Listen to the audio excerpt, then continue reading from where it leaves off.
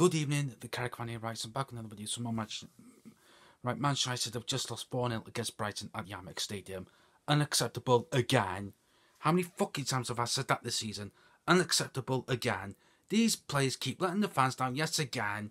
Bloody bullshit. It was like um, Ole Solskjaer's interim um, manager's uh, game against Everton when, when we lost, ironically, by the, by the same scoreline. Oh, and guess who scored uh, Brighton's first goal? Moisés Caicedo. Remember him? Last yeah, last January, last year. We tried to get him, but we thought, nah, let's not get him for God's sake. Um, but the bull crap. That's a bull. I don't hear what the players have to say. We go again. We're sorry for letting you down. Nah, nah, nah. Thank God we got two weeks off uh, uh off United because I, I just I can't stand some of these players. Hide and seek merchant. Scott McTominay went hide and seek again. Went hiding again. I mean, he, didn't get booked, but but Ronaldo got booked for one foul. Diogo, Dalot got booked as well. Bloody bull crap. Um, Mat, Matic went off half time.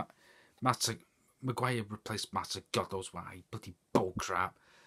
Um, I don't, I don't want the club bloody um, briefing bullshit that for the next couple of weeks. I don't know fucking hear it. I don't fucking hear it. This, that, and the other. Don't hear it. Um, we were diabolical, diabolical state. I'm not even joking. We could have lost five, six, seven nil. Yet again, those those fans, those United away fans deserve better. They were superb tonight. Fucking class.